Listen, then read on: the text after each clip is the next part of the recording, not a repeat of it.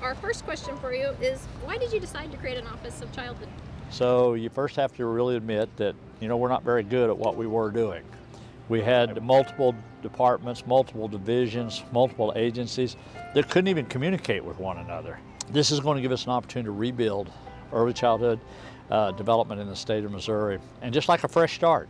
And if there's ever time to do it, now's the time. Can you tell, tell us a little bit about why you have incorporated early childhood as a part of your priorities for workforce and infrastructure, and how is early childhood related to workforce and infrastructure? Well, it all starts there. You know, you know, everybody says, well, you know, people getting out of school are not prepared for the workforce. So what is the tools they need to be successful? They got to have basic skills. They got to be able to read. They got to be able to know math. They got to be able to science. All those things that you learn as a child. And for years, we didn't invest on that end of it. And what we do, we paid the price on the back end of it, which is much more expensive. What do you hope this new office will accomplish for Missouri children? Yeah, I think it gives a kid a chance. If you're really going to make a difference, it has to be with giving that kid the opportunity, that child the opportunity to do things, and they, and they become better citizens. And I don't know whether they're going to get four years degrees. I don't know if they're going to go in the military. I don't know whether they're going to own a own business someday, but I sure want them to have a chance. And the only way they get a chance is if somebody will pay a little attention to them on the front end to give them the opportunities and skills they need that will teach them what they're going to need for life skills later on.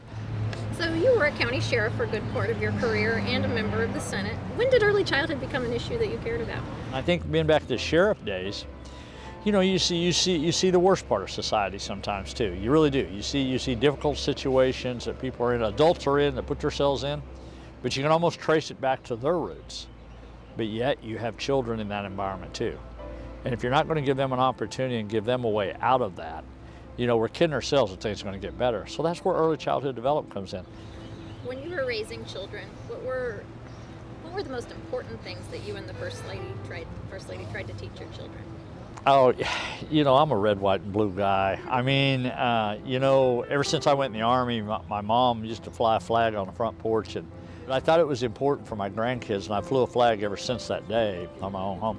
I think it's important for my grandkids to understand the importance of who we are, why we're here today, and why people did before us to sacrifice for them. And I think being an example, it's, it's not easy being a parent sometimes, but sometimes you have to make decisions that are really the best for the child.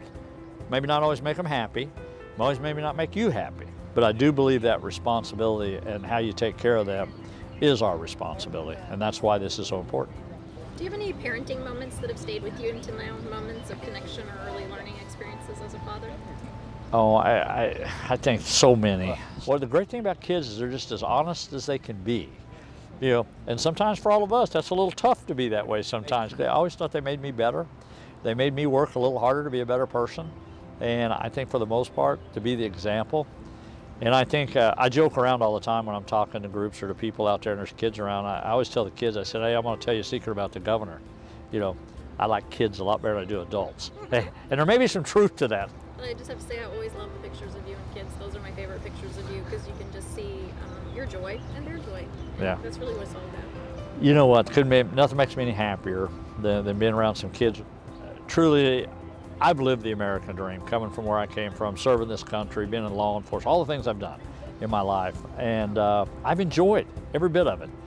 And I think I want to make sure in this role that I can pass the American dream down to other kids, to give them a shot at it. You know, what they do with it, I don't know, but they got to have the opportunity.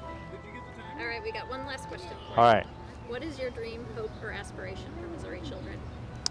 You know, they all have a shot at the American dream. I want them all to be educated. I want them to have a job and I want them to enjoy life. I want them to be happy every day uh, and they live their lives. All right, those are our questions. Thank you all right. so much. Thank all right. you.